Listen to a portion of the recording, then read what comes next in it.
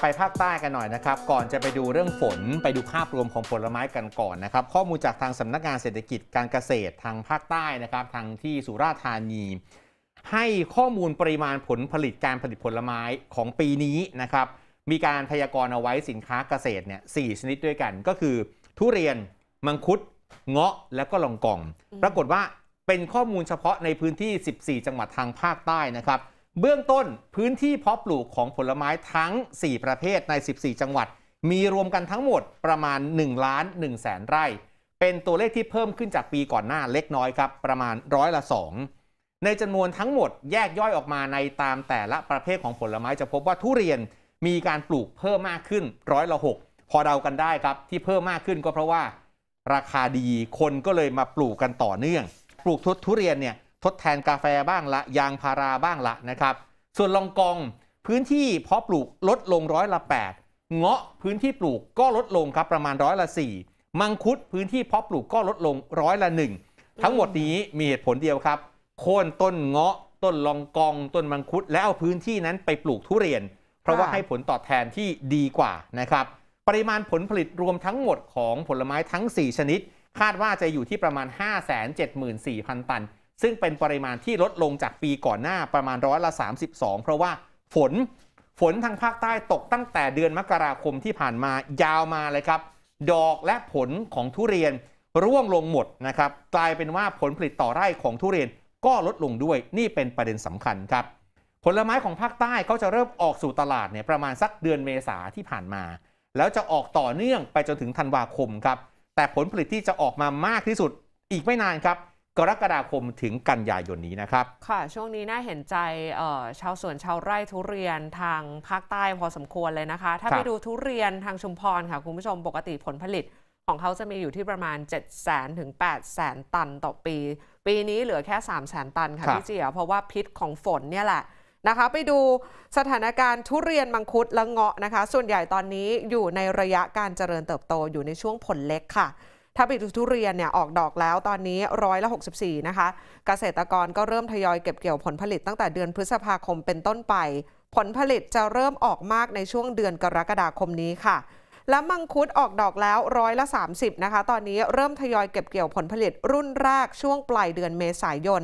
ผลผลิตจะออกมากในช่วงเดือนสิงหาคมนี้ เงาะออกดอกแล้วร้อยละ 54 คาดว่าจะเริ่มเก็บเกี่ยวผลผลิตรุ่นแรกช่วงเดือนมิถุนายน และผลผลิตจะออกมากในช่วงเดือนกรกฎาคมค่ะ ส่วนลองกองออกดอกบ้างเล็กน้อยแล้วนะคะร้อยละ 13 ส่วนใหญ่อยู่ในระยะช่อดอก คาดว่าจะทยอยเก็บเกี่ยวผลผลิตรุ่นแรกในช่วงเดือนมิถุนายน และผลผลิตจะออกมากในช่วงเดือนกันยายนค่ะครับแนวทางการบริหารจัดการผลไม้ทางภาคใต้ก็จะใช้วิธีและหลักการบริหาร คล้ายๆกับปี 2564 ไล่เรียงมาจนถึง 65 แล้วก็ 66 ด้วยนะครับ แน่นอนต้องมีข้อมูลการผลิตที่ชัดเจน จะได้จับข้อมูลการผลิตนี้ไปเชื่อมโยงกับตลาด หรือว่าลูกค้าให้ชัดเจนมากขึ้นกว่าเดิม และช่องทางการค้าทางออนไลน์ ก็จะต้องถูกนำมาใช้เพิ่มมากขึ้นกว่าเดิมด้วยนะครับ จะใช้วิธีการบริหารจัดการเชิงคุณภาพ เน้นคุณภาพมากกว่า แต่ละจังหวัดจะมีการจัดทำแผนบริหารจัดการผลไม้ การพัฒนาคุณภาพมาตรฐานของผลไม้ การสร้างมูลค่าเพิ่มของผลไม้ตลอดฤดูการผลิต ทุกหน่วยงานที่เกี่ยวข้องจะร่วมกันนะครับ ส่วนในแง่การบริหารจัดการเชิงปริมาณก็จะต้องไปดูปริมาณที่ออกมาให้เหมาะสมกับอุปสงค์คือความต้องการ อุปทานคือปริมาณผลไม้ จัดทำข้อมูลดูว่าตลาดความต้องการเป็นยังไงบ้าง จะได้ปรับข้อมูลให้สอดคล้องกันระหว่างความต้องการกับผลผลิตที่จะออกมา แล้วก็เชื่อมโยงข้อมูลปริมาณการผลิต ให้สอดคล้องกับความต้องการของผลไม้ในแต่ละชนิดด้วย แล้วก็ต้องมีการจัดเตรียมเหตุรองรับปริมาณผลผลิตในช่วงที่ผลไม้ออกมาเยอะด้วยนะครับ ค่ะ มีข้อมูลจากสมาพันธ์ ชาวสวนทุเรียนภาคใต้นะคะ บอกว่าสถานการณ์ทุเรียนภาคใต้ในปีนี้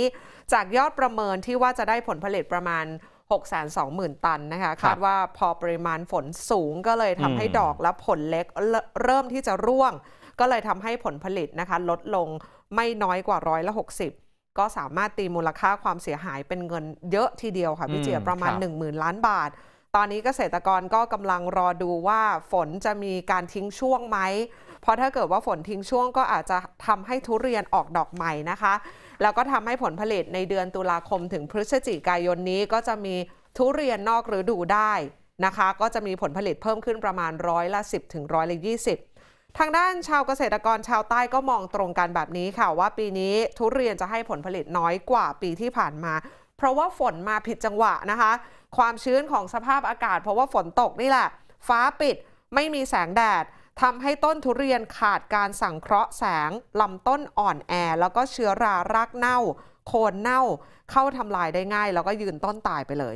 ซึ่งผลผลิตที่ใกล้จะเก็บเกี่ยวจะมีการสร้างน้ำตาลในผลทุเรียนทำให้เชื้อราที่แฝงอยู่ในท่ออาหาร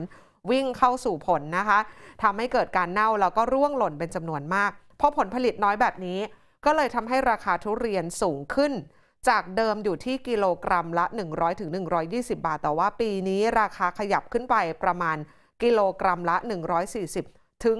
160 บาทค่ะ ส่วนประเด็นที่ว่าจีนเขาเคยเจอโควิด -19 ในทุเรียนภาคตะวันออก อันนี้ก็เป็นบทเรียนที่ค่ะชาวสวนทุเรียนทางภาคใต้ต้องปรับตัวและต้องเข้มงวดมากขึ้นกว่าเดิมครับ อย่างทางสมาพันธ์ผู้ส่งออกทุเรียนแห่งประเทศไทยก็ได้มีการออกมาตรการให้สมาชิกทุกคนนะครับถือปฏิบัติอย่างเคร่งครัด เพื่อป้องกันไม่ให้เกิดปัญหาเหมือนที่เคยเกิดขึ้นมาแล้ว เพราะว่าอืมถ้าเจอแม้แต่ล้งเดียวนะครับ จะกระทบทั้งหมดที่ชุมพรมีการออกคำสั่งของจังหวัดชุมพรออกมาเลยเรื่องเกี่ยวกับ การควบคุมนะครับการแพร่ระบาดโควิด -19 ในล้งนะครับเป็นการควบคุมล้งในล้งทุเรียนนะในชุมพรมีทั้งหมด 421 แห่งด้วยกันครับแล้วเขาก็จะประสานความร่วมมือไปยัง 14 จังหวัดทางภาคใต้ ให้ถือปฏิบัติเป็นแนวทางเดียวกันด้วยนะครับ เช่นล้งที่จะเปิดดำเนินกิจการได้ต้องผ่านการประเมิน จากทางศูนย์ปฏิบัติการควบคุมโรคอำเภอในพื้นที่ก่อน แล้วก่อนลงจะเปิดดำเนินการจะต้องตรวจ ATK กับพนักงานทุกคน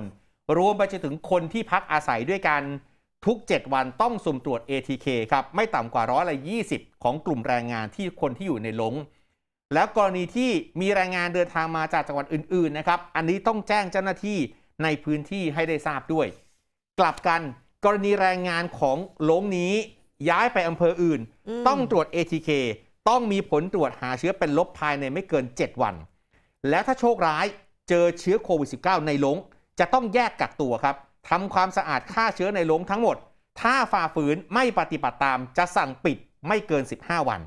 ทั้งหมดนี้เขาบอกว่าจะมีการสุ่มตรวจนะครับ มีชุดปฏิบัติการระดับตำบลหมู่บ้านไปตรวจสอบลง หรือสวนผลไม้ในพื้นที่